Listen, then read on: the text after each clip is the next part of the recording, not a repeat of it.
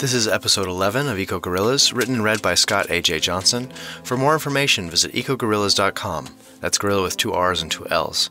To support this project and get early access to all the chapters, head over to patreon.com slash sajjohnson. If you've gotten this far, I hope you're enjoying it, so take a minute to tell a friend. If you've done that, please consider leaving this podcast a review on iTunes, YouTube, or wherever you listen. And thanks. This podcast contains fleeting explicit language.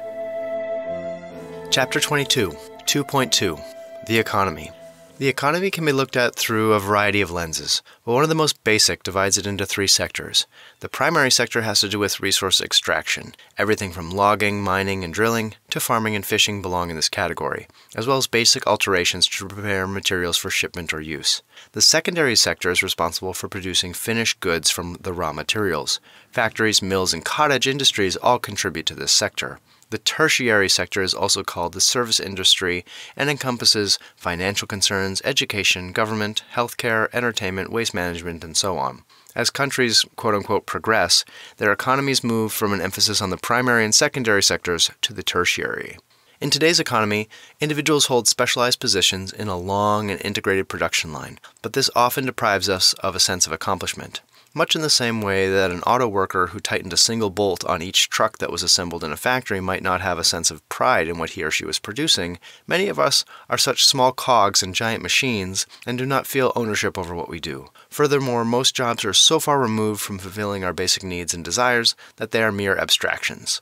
Service sector jobs, especially, can absorb an infinite amount of hours from their employees, and many people are induced to work more than the quote unquote standard 40 hours each week. This is not the only way to run an economy. It's entirely possible that we could reorganize our economy so that each person can be involved in a wider variety of tasks, perhaps even working in each of the three sectors. This may sound like a regression, but human beings are not made to perform a single task every day for their entire lives.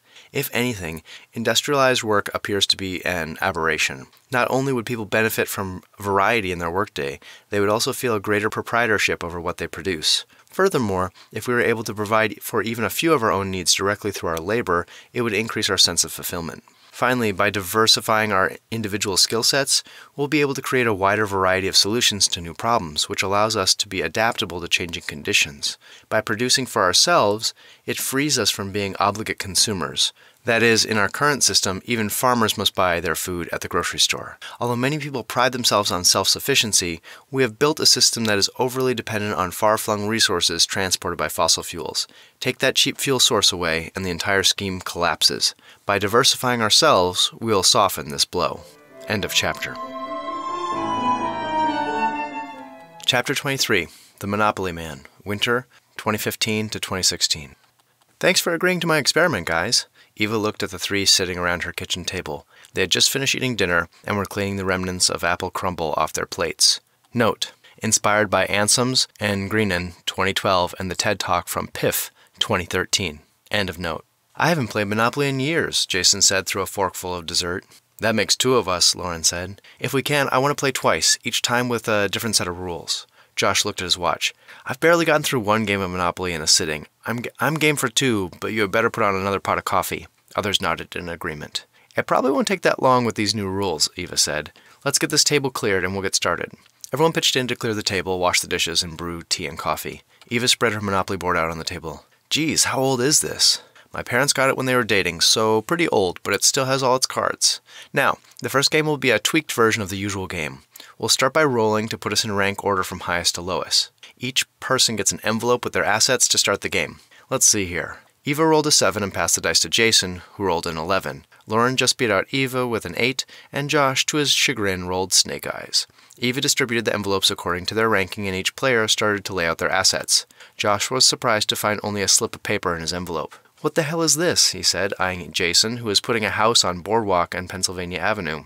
We haven't even started yet. Jason has houses and I have a bill for $500.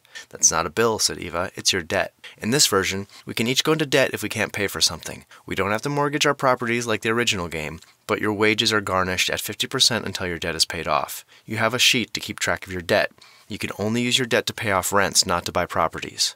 But why is Jason placing houses? asked Lauren. He inherited those properties, Eva said. He also inherited some wealth. He's starting with double the usual cash, so that should be about $3,000. Lauren, you have the usual amount, 1500 I have nothing, and Josh is 500 in debt.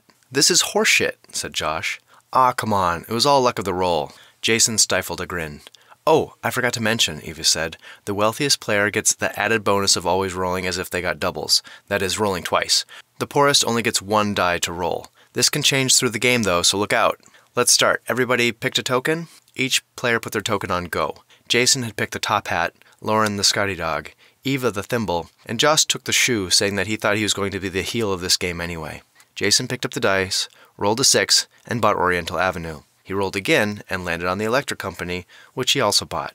Lauren rolled an 8 and bought Vermont Avenue. Josh rolled a 6, maxing out his single die. Jason raised a fist and then rubbed his hands together. Yes, time to pay the piper. So I guess I owe Jason $30? Right, Eva said. Note it down on your sheet, and I, the bank, will give Jason $30. Jesus, this is not going to go well, said Josh. You look like Monty Burns right now. Jason steepled his fingers. Excellent. Over the next half hour, Jason flew around the board, passing go twice as often as everyone else, four times faster than Josh with his single die. He bought and developed the majority of the properties, utilities, and railroads, in most cases creating monopolies. Lauren was keeping afloat with a couple of properties, a few lucky rolls, and excellent chance cards. Josh, and to a lesser extent Eva, had sunk deep into debt. Because they could never buy a property, their only income was pass and go, getting a lucky chance card or landing on the community chest. Eve was only doing better than Josh because she could still roll two dice. After about a half hour, Josh had had enough. I vote that we declare Jason the winner and try the next set of rules. No way, said Jason, glassy eyed. Let's see how this turns out. I have a feeling things are going to turn around for you, buddy. Look, I'll even forgive half of your debt. What would that bring you to? Uh, negative 4,530? But I, I really don't want to do that. It's clear you're going to win, so why prolong everyone else's misery? I just plod around the board, giving you money that I'll never be able to pay back. Them's the rules. I didn't make 'em. I just follows 'em. Eva and Lauren exchanged glances. Josh was starting to get visibly upset. You're only winning because you started out with huge advantages. Maybe, but I also played a lot of Monopoly growing up. I know the good properties to buy, I knew when to develop them, so maybe I started out with a leg up, but I did the rest for myself. Lauren, who had been quiet for much of the game, threw up her hands. Seriously? Don't you see that this is just a microcosm of our own economy and you're playing the part of the super wealthy? You act arrogantly, you take advantage of others, and you think it's all due to your own ability when it's almost entirely a result of your initial advantage? Aaron pointed to Lauren. Bingo. We just recreated a study done at Berkeley, and Jason played right into the stereotypical behaviors of the privileged. I mean, you're really a perfect example. You even went and got a bag of chips from my pantry and started eating them without asking or offering to share. Jason had at first looked angry, but now slowly pulled his hand out of the chip bag, looking contrite. Chips, anyone? He offered the bag to the others at the tables. Everyone laughed. Now that you mention it, I do see it. When we were playing, though, I just had blinders. I was so caught up in the game that I didn't even realize how ridiculous my winning was. I mean, I could feel my heart going fast every time it got to be my turn. That's nuts. Eva took a chip. It's not your fault. People are just fairly predictable. You doing okay, Josh? Yeah, it's cool, said Josh through a mouthful of chips. That's some pretty underhanded social engineering, though, Eva. Yeah, our economy is pretty much a big nasty game. So should we try it again with uh, better rules? Everyone nodded their consent and cleaned up the board, all while giving Jason sarcastic compliments on his skillful gameplay. The second set of rules is a bit more communal, Eva said. Everyone either wins or loses together. Ah, now the dirty Kami Pinko version, asked Jason. Eva gave him a glare. Sure, if you think that's what it means when everyone wins together. Jason rolled his eyes. At any rate, nobody owns the properties here. We must each have a place to live, so instead of being deeds, the property cards represent a long term lease agreement. Each time we pass go, we pay half of the stated rent to the bank. We can vote to add houses or hotels to our rental properties as a group. The improvements are financed by taking a chunk out of our wages for pass and go. For example, if we all add houses, the cost is 400, then we'll each lose 100 on our next go round. Obviously, the utilities are publicly owned. Sounds straightforward, but do we get to roll as individuals or do we have to vote on moving? Lauren smirked. No matter the system, there is chance inherent in life, so yes, we'll each roll individually. With that, the group started moving around the board. Jason had a rented property on his first turn and landed on another one in his second.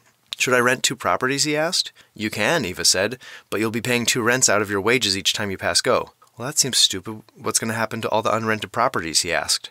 Josh shrugged. What needs to happen to them? Jason leaned back in his chair. Boring. The game continued for a few rounds. After the third lap, everyone voted to put hotels on their rental properties. The improvements were financed after a few more rounds, but by now everyone was bored of the game. Okay, I, I get what you're trying to do, Eva, Lauren said, but this gets to be really dull. This is why your lefties' economies stink, said Jason.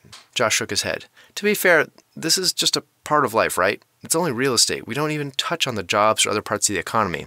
Eva nodded. Economy should be boring. Why would you want to make the economy, healthcare, education, or other things like the lottery, and a rigged lottery at that? Yeah, housing should be boring. And since we all need shelter, it shouldn't be something that someone uses to exploit others to get rich. Of course, the cost should be covered. But the profit motive makes people pretty nasty, right, Jason? Jason rolled his eyes.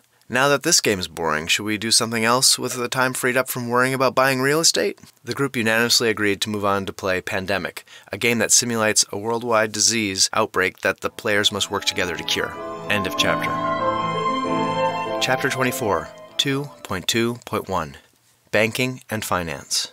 We are too enamored with the gross domestic product. Something is perversely wrong with a measurement wherein a traffic accident that totals a car is seen as a positive because of vehicle replacement and medical costs. All too often, economists present our system as if it is a game that we all must play. When the numbers go up, we're doing well. When they fall, it's a catastrophe. We recognize that stable systems in nature are just that stable, not growing or shrinking. Infinite growth is impossible in a finite world. To put it another way, our economy runs on an empty world model, in which inputs and outputs are seen as infinite. The economist Herman Daly contrasts this with the full world model, which recognizes that the world has finite resources.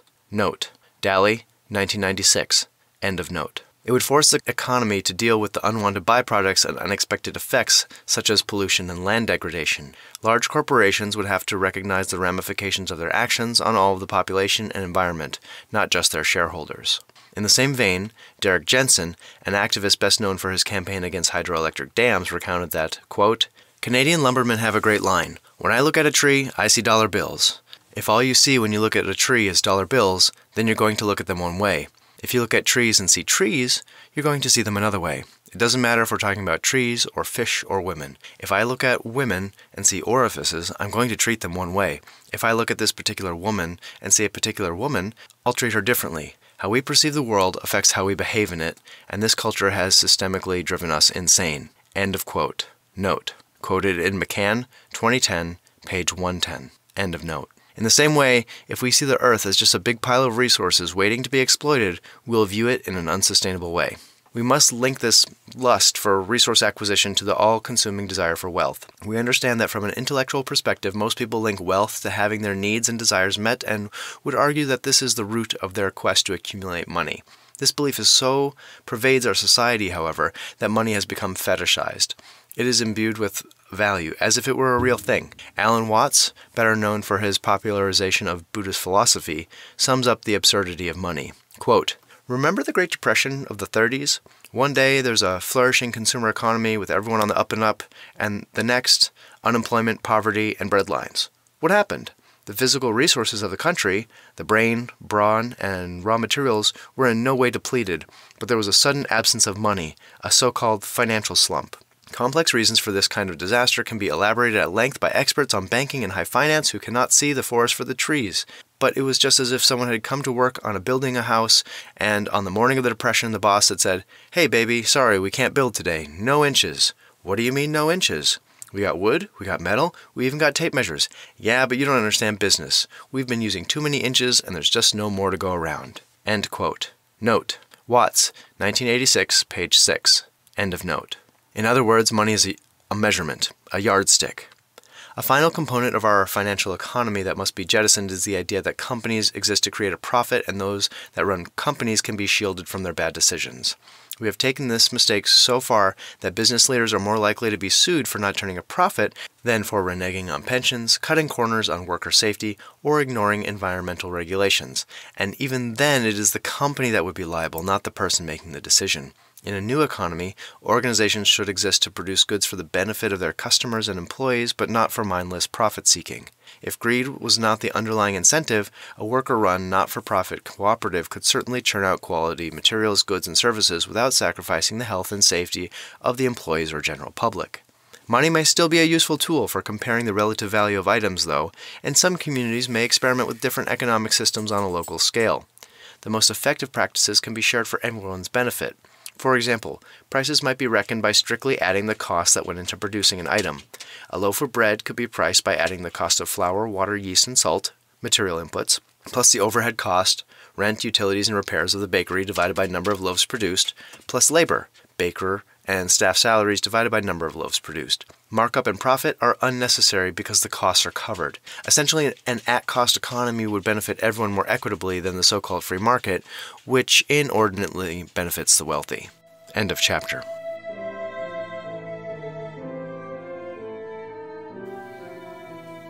End of episode 11 of EcoGuerrillas. For more, visit ecoguerrillas.com.